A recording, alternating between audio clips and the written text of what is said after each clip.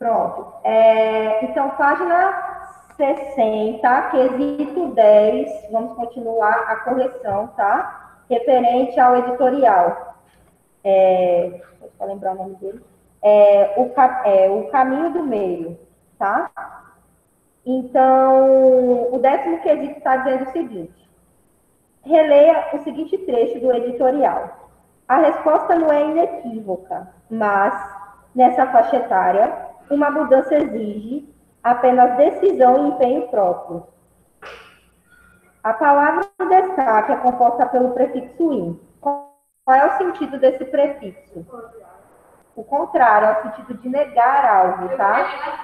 Então, é o sentido de negação. Isso, muito bem. Sentido de negação, tá, pessoal? Letra B. No contexto da frase em que a palavra destacada foi empregada, qual é o significado dela? Isso, algo que está evidente, compreensível, tá? Então, pode colocar quem está evidente, né? Quem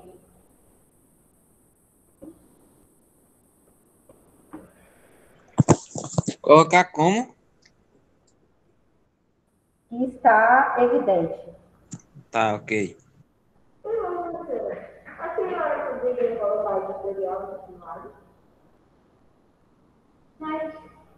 Eu posso não, pode ser. Eu tenho que ver quais são os gêneros, entendeu? Qual é o melhor que fica mais adequado e mais tranquilo para vocês fazerem. Eu acho que é, dá para fazer o editorial. É, por um pouco eu trabalhei com o editorial. O editorial é o melhor, desse, nessa unidade. Agora não tem mais de. Não. Literatura eu vou passar trabalho para vocês fazerem. Mas tem prova, né? Tem. Literatura tem. Sempre teve. É, é, até o ano passado eu trabalhava com os paradidáticos, né, que vinham no kit de vocês. Só que esse ano não veio. Então, desde o primeiro dia na reunião, eu te, da reunião, eu tinha explicado que eu trabalharia, trabalhei os paradidáticos por fora. Lembra que eu trabalhei o médico? É.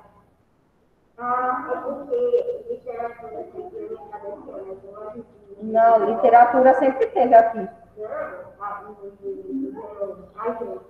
Ah, é, vocês tiveram o primeiro ano de literatura, né?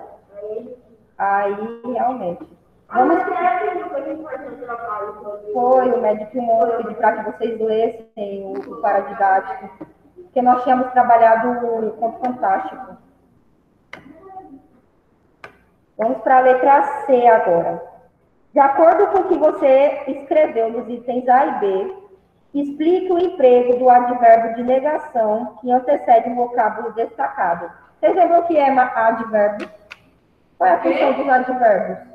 Advérbio? Isso.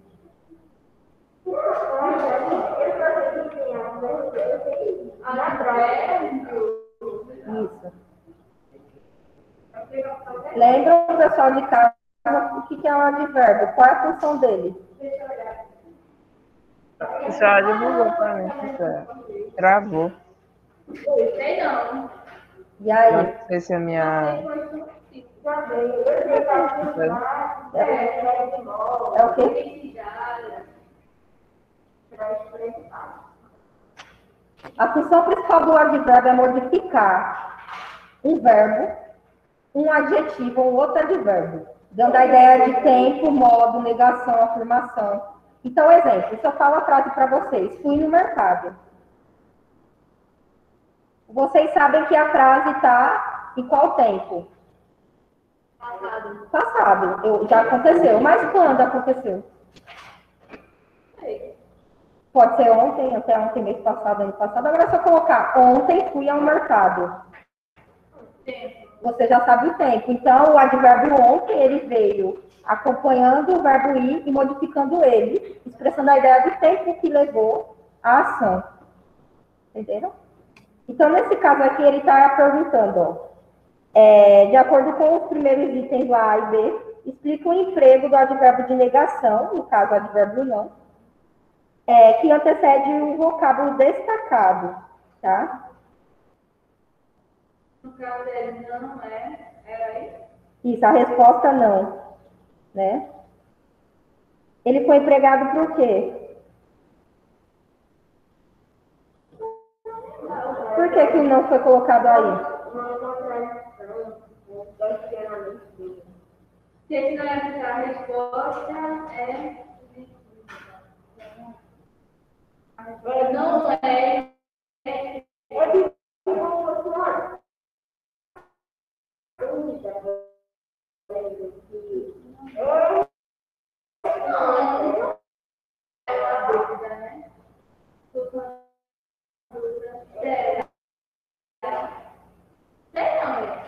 E aí. No caso, ele foi empregado para que a palavra destacada aí, entenderam? Caso contrário, o sentido seria o oposto. É evidente, tá? Isso, é para dizer que, porque se fosse, ó, a resposta é inequívoca, ou seja, a resposta é compreendida, é evidente.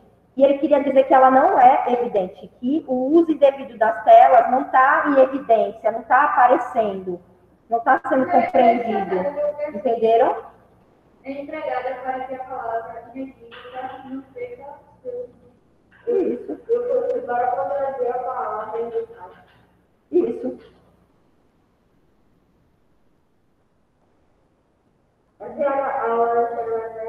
É, é foi empre... até meio de 20. Foi empregado. É meio de 10, né? Ah, é meio de 10, né? Ai, gente, tô perdidinha por horário. Diana, Daqui que volte. Oi. Diana, a senhora já sabe qual vai ser o assunto dessa redação? Dessa pergunta? Não, eu vou escolher o gênero, tá? Aí semana que vem eu trago qual vai ser o gênero. Tá bom. E eu vou passar uma revisão desse gênero, né? Que vai ser abordado. Hoje? Não, semana que vem. Termina Todo mundo conseguiu fazer a letra C do décimo quesito? Ou não? Tem alguém perdido aí?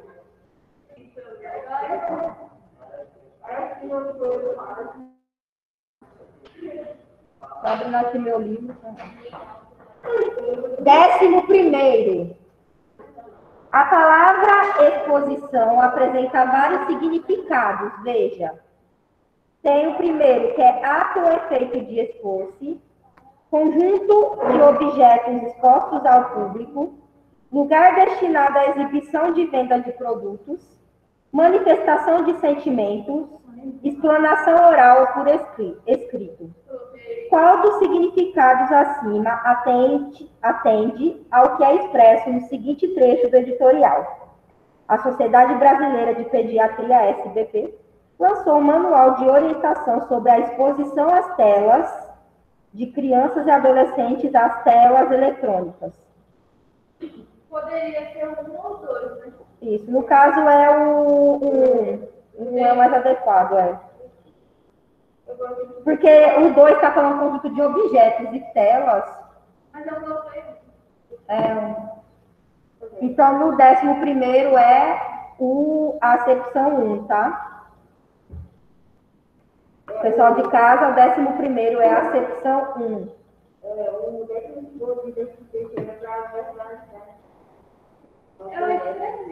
Eu escrevi. Vamos lá. O décimo segundo e o décimo terceiro é oral, tá? É, é, vamos então, posso ir para o décimo segundo, o pessoal de casa está conseguindo acompanhar direitinho. Alguém tem alguma dúvida? Ou não conseguiu acompanhar alguma questão? Até o Claro. momento eu tô. Conseguiu? Aquiles, ok. Williams, Lúcia. Consegui. É esse? Ok, então eu vou seguir, tá? esse Ma- Maigo Guzion? É, bem. Ah, Gustavo, ok.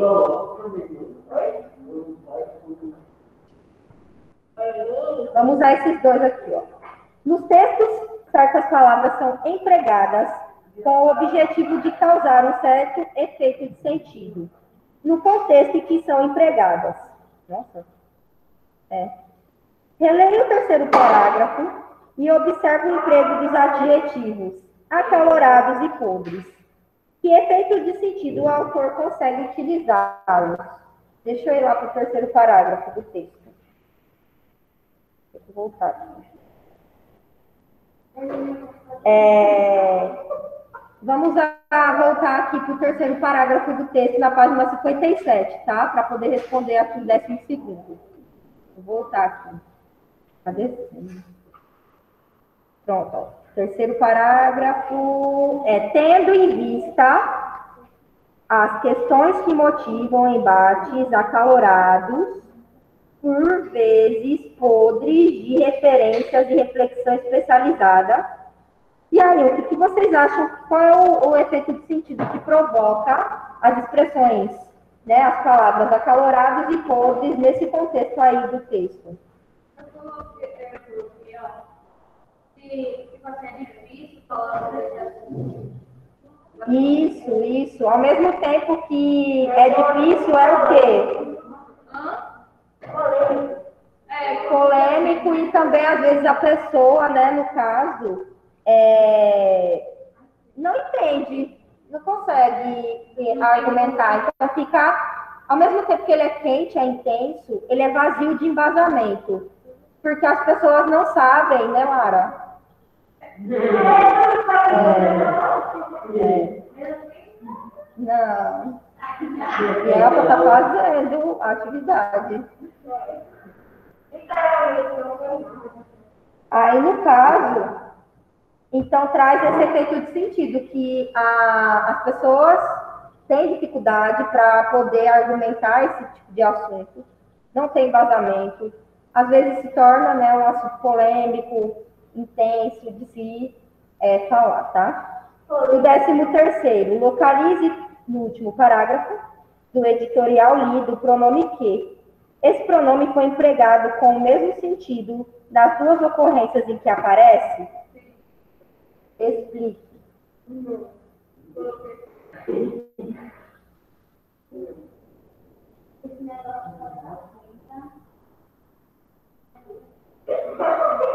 E aí? Na verdade, é sim ou não? É sim ou não?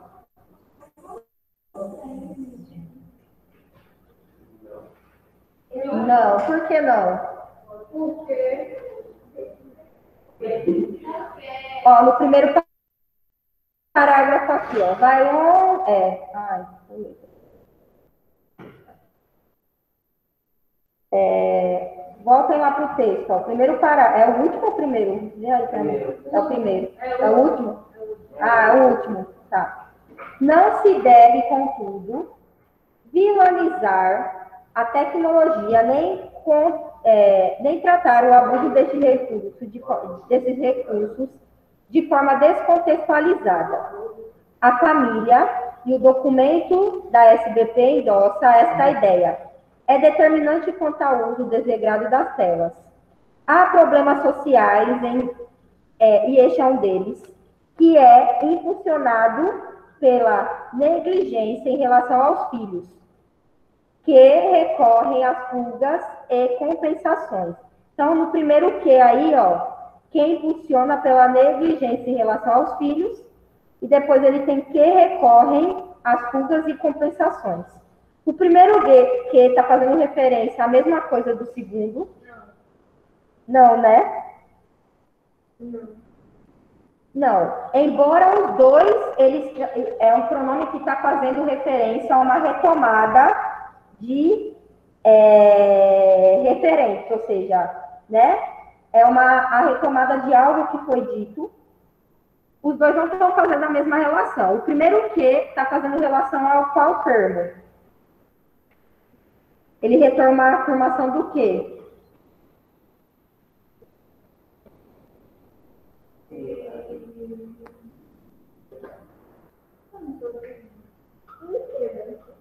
Não, eu sei que. E aí? Se não, você. Tá fazendo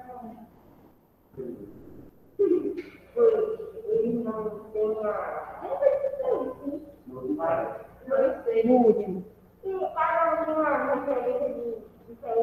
No último. E aí? O primeiro que ele está fazendo referência à retomada do uso desregrado do quê? Das, das telas, certo? Quando ele fala aqui, ó, há problemas sociais e este é um deles que é impulsionado pela negligência. O, é, o que é impulsionado pela negligência? O uso indevido das telas, tá? Aí o segundo o quê, ó? É, é, negligência, é, pela negligência em relação dos filhos que recorrem a fugas e compensações. Que, que recorre a fugas e compensações? Os filhos. Então, segundo o que ele faz relação, ele retoma os filhos, né? O referente filhos. Foram que foi dito na frase anterior. Entenderam? Entendeu, pessoal de casa? Alguma dúvida? A continuidade aqui. Vamos agora ao décimo quarto. O editorial termina com uma afirmação relacionada ao uso desregrado das telas por crianças e adolescentes. A solução, afinal, passa pelo afeto e pela atenção. Você concorda com essa afirmação? Apresente seu ponto de vista e argumentos que o sustentam. E aí, vocês concordam com essa afirmação? Essa aqui, ó, a solução, afinal, passa pelo afeto e pela atenção. Então, me falem agora argumentos, vocês têm que escrever argumentos do porquê que vocês concordam com essa afirmação.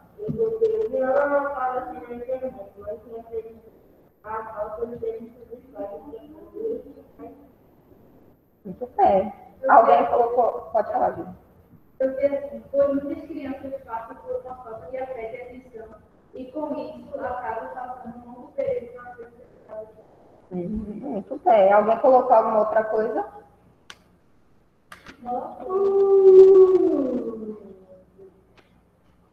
Pessoal de casa, Luiz, aqui eles fizeram?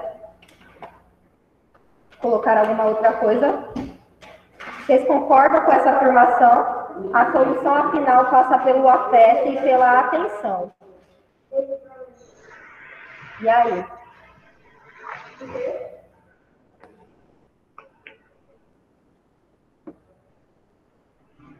Você Peraí. concorda, Luiz? Peraí, Tá. por favor. Aí a senhora tá falando do, do 14, né? Isso, décimo quarto. Ah, eu coloquei. Sim, pois muitos pais, ao invés de tentar brincar ou compreender o seu filho, simplesmente dão um celular para ele, é, para tipo, fica aí com o celular que já tá bom. Se diverte aí com o celular, ao invés de tentar brincar, tentar compreender o que ele quer. Você entendeu? Exatamente. É porque, assim, é, eu vou falar da minha geração, que são, basicamente, assim, estamos próximos dos pais de vocês, né? É, até porque a maioria dos meus amigos tem filho. Eu vou fazer 30. Daqui a dois meses eu vou fazer 30. Mas eu tô falando da geração de adultos agora, da dos pais de vocês para mim. Agora, acontece o seguinte. É, o tempo, o nosso tempo não é como dos nossos avós ou bisavós, a gente não tem tanto tempo, é tudo muito frenético, tá? Então, o que acontece? Os pais não têm tempo, é o dia, né? Tem que, às vezes, é por é, ter que trazer o melhor para o filho, enfim, tem que passar o dia, às vezes, na, né? Às vezes não, quase sempre tem que passar o dia na rua, tem que estar trabalhando. E muitos dos pais não conseguem li- lidar, assim, é, por não passar tanto tempo com os filhos, não tem, às vezes, a paciência, aquele momento, aquele tempo de parar e dar atenção. Então, faz o quê? É muito prático chegar numa criança de dois, três anos, hoje em dia, que ela já sabe, né, mexer muito melhor do que eu, e dar o celular para ela e deixar. Porque hoje em dia, é, o que interte essas crianças, né, é, é a tecnologia. Então, pronto, dei o celular aquietou, mas nem sempre é, é, a criança, na, naquele momento, ela está pedindo por aquele eletrônico, ela está querendo a atenção, está querendo o afeto, enfim.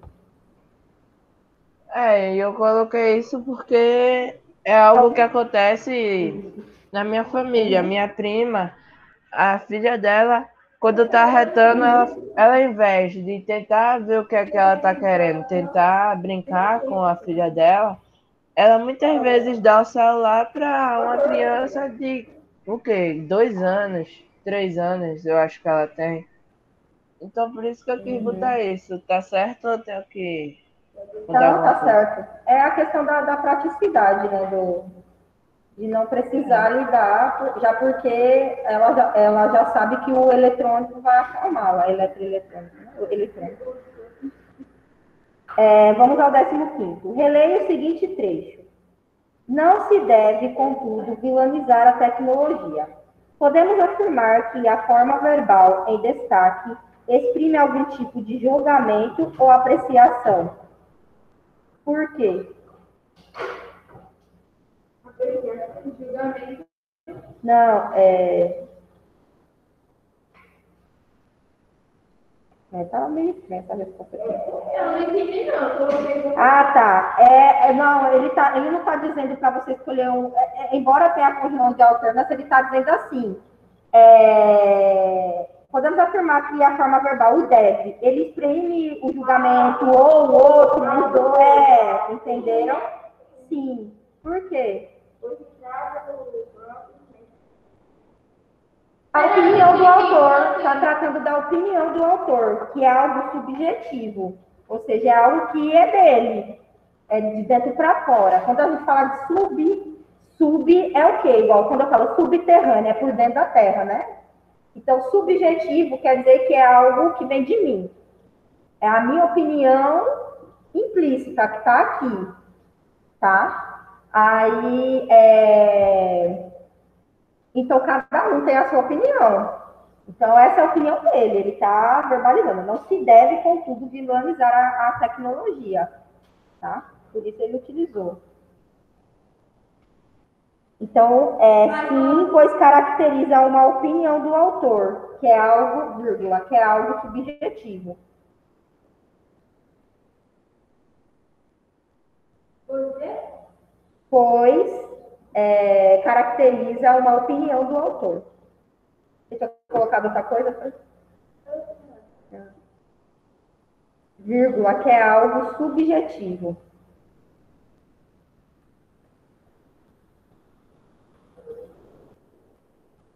A letra B. Posso ir para B, Júlia? Letra B. Se substituirmos o verbo deve por outros mais neutros, haverá diferença de sentido? Observe o exemplo a seguir antes de responder. Não se pode, contudo, vilanizar a tecnologia.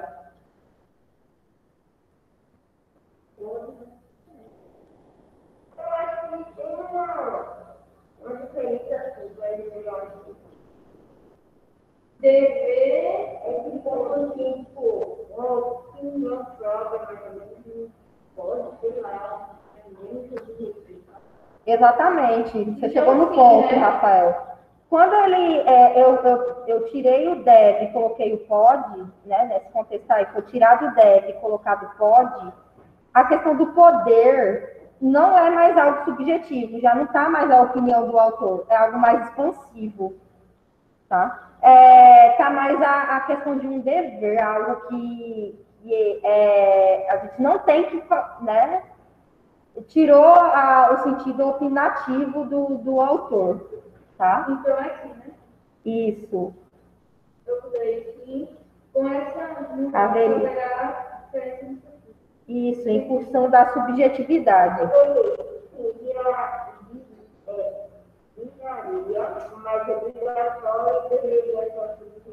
Isso. Perfeito. Pessoal de casa, tudo ok? Estão conseguindo acompanhar? Sim, sim. Pronto, eu vou para a letra C. Oi? Letra C. Localize no texto editorial lido formas verbais e expressões que, em sua opinião, apresentam um julgamento ou apreciação do autor. Justifique suas escolhas. Isso, aí você vai ter que justificar a escolha, a resposta pessoal. Tá? E aí, vocês escolheram algum trecho e sabem explicar o porquê que escolheram? É um trecho que fale o julgamento, a apreciação do autor. Esse eu vou ser bem sincero, eu não fiz, eu não fiz não.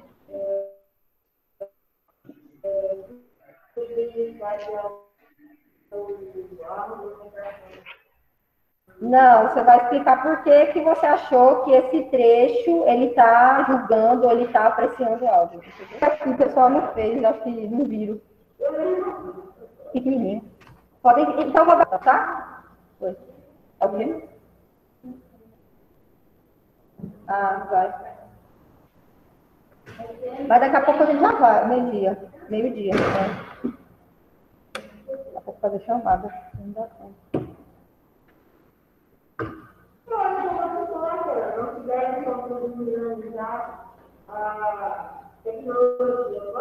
Pode, pode ser. Se você acha que é, é pessoal a resposta desse. Sim, pode escrever por aqui. Se tiver um espacinho, problema não. A senhora vai dar alguma sugestão de resposta para para essa letra? Não, ela é pessoal. Tá bom. Se vocês escolherem e acharem e conseguirem dizer o porquê, tá perfeito.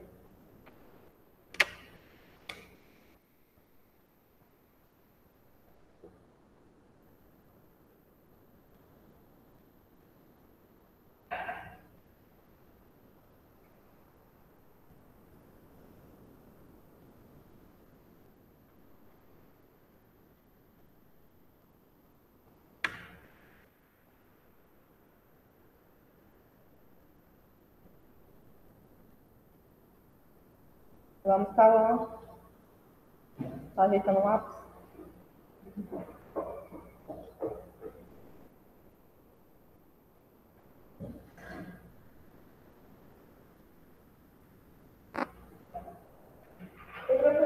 Oi.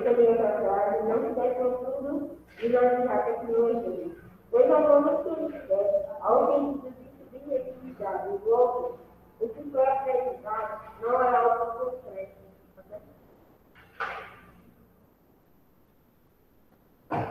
concreto. Agora, por agora, essa aula, não sei aceitar.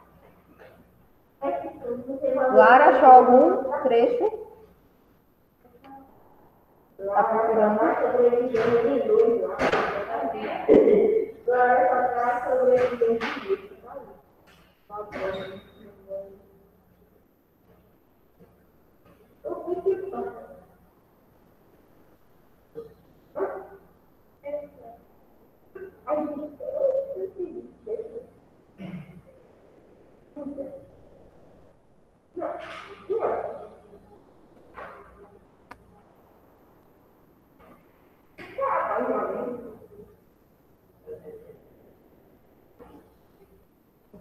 É, depois disso tem a proposta de produção, mas eu já trabalhei com vocês na, no vídeo, né?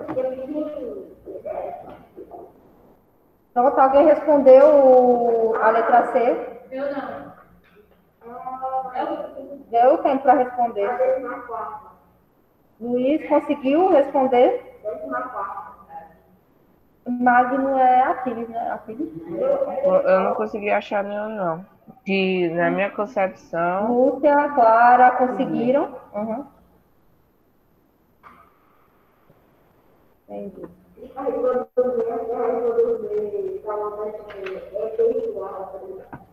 Tem que colocar. Oi? Tem que colocar aqui. Isso. Pode colocar aí embaixo. Dá um Para colocar espacinho. na garrafa do Roberto, é aquele negócio de Coca-Cola, tá Não, né? Mas ele trouxe outro. Não. Tá em da mesa. Ele trouxe Aham. a caixinha. Não, era um azul. Ele Ele uma Pronto, pessoal. Vou finalizar aqui a gravação, tá? Já que terminamos as correções.